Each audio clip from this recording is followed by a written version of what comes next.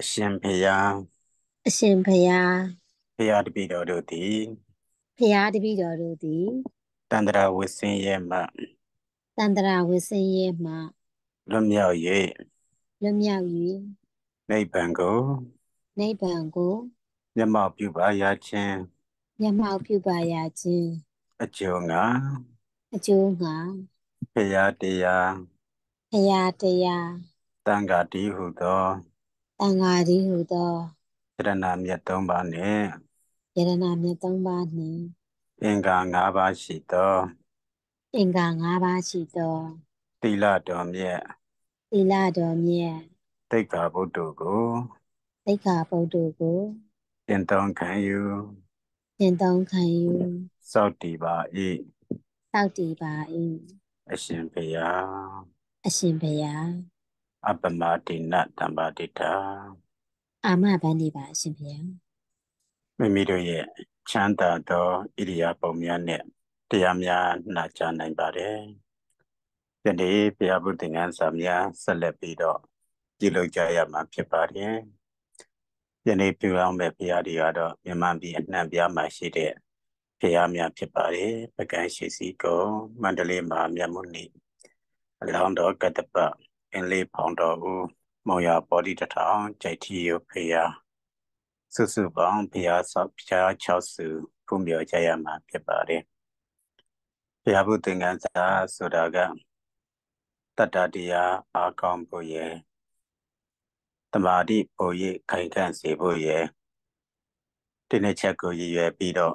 ဘုရားဘုသင်္ကန်းစာပေးခြင်းဖြစ်ပါတယ်ဘုရားတကယ်ဖူးရမယ်ဆိုရင် ယောဂီပုဂ္ဂိုလ်ကတတတရားတွေခိုင်မာအားကောင်းလာပြီးတရားအလုပ်ပေါ်မှာပုံရိပ်တကြစွာအထုတ်လာပါတယ်နောက်တစ်ခါဘုရားတကယ်ဖူးရပြီဆိုရင်လည်းတမာတိခိုင်မာအားကောင်းလာပြီးပဒနာဘက်မှာပုံရိပ်ပုံရိပ်အထောက်ကူဖြစ်စေပါတယ်ဒါကြောင့်ဘုရားဟူတင်ငန်းစာကိုတေချာလေးကျမ်းစာပြုလုပ်ပါလို့ဦးဇင်းတို့ တိုက်တွန်းလိုပါတယ်ဘုရားဘုသင်္ကန်းစာလုပ်တဲ့အခါမှာအဓိကရေးစီဆောင်သောအချက်ကဘုရားမပုခင်မှာမေတ္တာပုဘုရားပုပြီးတဲ့နောက်မှာအမြတ်တမ်းပေးဝေတာပဲဖြစ်ပါတယ်မေတ္တာပုခွန်တောင်းခြင်းမရှိဘဲနဲ့ဘုရားပုမယ်ဆိုရင်ဘုရားပုတဲ့နေရာမှာအခက်အခဲဖြစ်တတ်ပါတယ်ဒါကြောင့်မေတ္တာပုခွန်တောင်းပါဒီနေ့ဘုရားကြောက်စုဆိုတော့ ပကံရှိစီကုံဘုရားကိုစောင့်ရှောက်ရနေကြကုန်သောနတ်အပေါင်းတို့သည်၎င်းမန္တလေးမှာမြတ်မုနိဘုရားကိုစောင့်ရှောက်ရနေကြကုန်သောနတ်အပေါင်းတို့သည်၎င်းအလောင်းတော်ကတ္တပကိုစောင့်ရှောက်ရနေကြကုန်သောနတ်ပေါင်းတို့သည်၎င်းအင်းလေးဖောင်တော်ဘုရားကိုစောင့်ရှောက်ရနေကြကုန်သောနတ်ပေါင်းတို့သည်၎င်းမောရပောတိထံဘုရားကိုစောင့်ရှောက်ရနေကြကုန်သောနတ်ပေါင်းတို့သည်၎င်း တိုက်ဒီယဘုရားကိုဆောင်ရှောက်ရနေကြကုန်သောနတ်ပေါင်းတို့သည်၎င်းကျမ်းပါကြပါစေချမ်းသာကြပါစေဒီနေ့ကျွန်တော်ဒီတရားတွေကိုလာရောက်ရေပုံမြော်မိဖြစ်ပါသည်ဘာမှမနှောက်ယှက်ပါဘူးပုံမြော်ရုံတက်တက်ပါပုံမြော်ခွန်ပြုပါလို့မေတ္တာဖို့ခွန်တောင်းပါမေတ္တာဖို့ခွန်တောင်းပြီးတော့ပြီဆိုလို့ရှိရင်ဝါယောမတ်လို့ဝါယောမတ်လို့လို့အလင်းနမိတ်လာပြီဆိုတာနဲ့စိတ်ကိုအေးအေးစစ်စစ်နဲ့တည်ငြိမ်ငြိမ်လေးထားပြီးတော့ ငါဤစေဖယားငါဤစေဖယားဆိုပြီးတော့ခုပုမဲ့ဖယားစီကိုစိတ်ကိုရောက်အောင်ပို့ပါဖယားဘုသင်္ကန်းစာလောက်ခိုင်းတဲ့ခါမှာလေကိုပို့တာလည်းမဟုတ်ပါဘူးနမိတ်ကိုပို့တာလည်းမဟုတ်ပါဘူးစိတ်ကိုပို့ခြင်းဖြစ်ပါတယ်စိတ်ရောက်လျင်နမိတ်ရောက်သည်လို့ဆိုတဲ့အတိုင်းကိုယ်စိတ်ကကိုယ်ဖုမဲ့ဖျားစီကိုရောက်သွားတာနဲ့ နမိတ်လည်းရောက်သွားပြီးတော့တွေ့ရမြင်ရမှာပဲဖြစ်ပါတယ်။ငါဤစိတ်ဖျားငါဤစိတ်ဖျားဘလောက်ပဲလို့လို့ကိုယ်စိတ်ကမှကိုယ်ဖုမဲ့ဖျားစီကိုမရောက်ဘူးဆိုလို့ရှိရင်တွေ့ရမှာမဟုတ်ပါဘူး။ဒါကြောင့်ကိုယ့်ရဲ့စိတ်ကိုကိုယ်ဖုမဲ့ဖျားစီကိုရောက်အောင်ပို့လို့ဖို့အရေးကြီးပါတယ်။နောက်တစ်ခါဖះစီရောက်သွားတဲ့အခါမှာလည်းပဲစိတ်ကိုအေးစစ်စစ်နဲ့တည်တည်ငြိမ်ငြိမ်လေးထားပြီးတော့ဘုံမ ဖះမြင်ကွန်းနေရတဲကွဲစွာနဲ့မြင်ရတွေ့ရမှာပဲဖြစ်ပါတယ်ဒါကြောင့်မိမိတို့ဟာဘုရားဘုသင်္ကန်းစာလုပ်တဲ့အခါမှာစိတ်ရောက်လျင်နမိတ်ရောက်သည်စိတ်ကြည်လျင်မြေခွန်းကြည်သည်ဆိုတဲ့ဒီနှစ်ချက်လေးကိုလက်စုပ်လက်ကင်ထားပြီးတော့ဘုရားဘုသင်္ကန်းစာပြုလုပ်ပါလို့တိုက်တွန်းလိုပါတယ်နောက်တစ်ခါဘုရားပြုလို့ရတယ်ဆိုတာက တတ္တတရားလေးပဲရှိမှတတ္တတရားဆိုတာယုံကြည်မှုကိုပြောတာပါယုံကြည်မှုလည်းရှိမှဘုရားဘုသင်္ကန်းစာလုပ်လို့ရပါတယ်ယုံကြည်မှုမရှိဘူးဆိုရင်ဘုရားဘုတဲ့နေရာမှာခက်ခဲဖြစ်တတ်ပါတယ်ယုံကြည်မှုရှိအောင်တင်မဟုတ်ဘူးအလင်းနမိတ်လည်းရှိတာမှဘုရားဘုသင်္ကန်းစာလုပ်လို့ရပါတယ်အလင်းနမိတ်မရှိဘူးဆိုရင်လည်းပဲဘုရားဘုတဲ့နေရာမှာခက်ခဲဖြစ်တတ်ပါတယ် ဒါကြောင့်မို့ယောဂီပုဂ္ဂိုလ်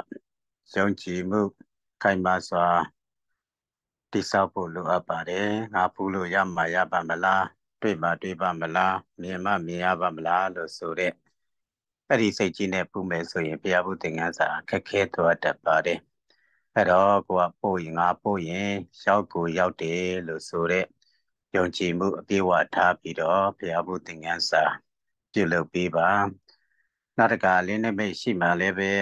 ဘုရားပြုလို့ရတာဖြစ်သည့်အတွက်မို့အလင်းနမိတ်ရရှိအောင်လည်းပဲကြိုးစားပါ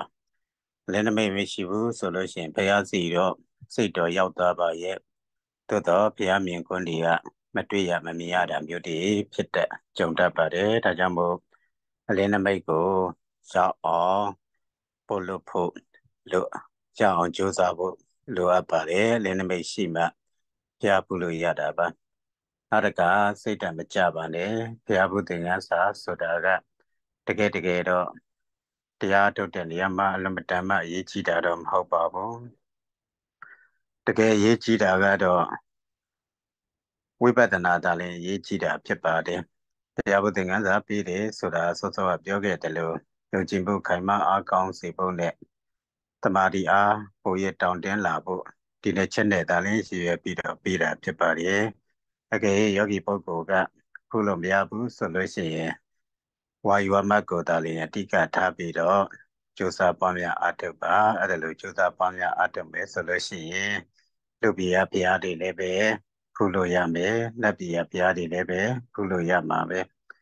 အကယ်၍ဖုလို့မရခဲ့ဘူးဆိုလို့ရှိရင်တော့ဝါယူမတ်ကိုခိုင်မာစွာလေ့ကျင့်အားထုတ်ထားတာဖြစ်သည့်အတွက်မို့ဝိပဿနာရှုတဲ့အခါမှာ ခန္ဓာရဲ့ဖြစ်ပျက်တွေတွေ့ရမြင်ရမှာပဲဖြစ်ပါတယ်။မောင်းတော်မြင်စင်သည်ဆိုတာကသမထပိုင်းပေးတယ်ဆိုတာဝိပဿနာကိုအထောက်အကူပြုဖို့ရတဲ့ပေးနေခြင်းဖြစ်ပါတယ်။သမထမှာလမ်းဆုံးသွားတာမဟုတ်ပါဘူး။သမထပိုင်းမှာကိုယ်မှာဘုရားပြုလို့မရတာနဲ့အမှတရားမတွေ့ဘူးတရားမရဘူးဆိုတဲ့အဲ့ဒီအတွေ့အမြင်တွေကိုလည်းဖျောက်ပြီးတော့ဝါယောမတ်ကိုသာလင်ကြိုးစားပွားများအထောက်ရမှာဖြစ်ပါတယ်။ဒါကြောင့်ဒီနေ့ မိမိတို့အနေနဲ့ဆက်လက်ပြီးတော့ဘုရားဘုသင်္ကန်းစာယခုပေးထားတဲ့ဘုရား၆စုကိုဆက်လက်ဖူးပါလို့ပြောကြရင်တရားနိဂုံကျော်ပါတည်း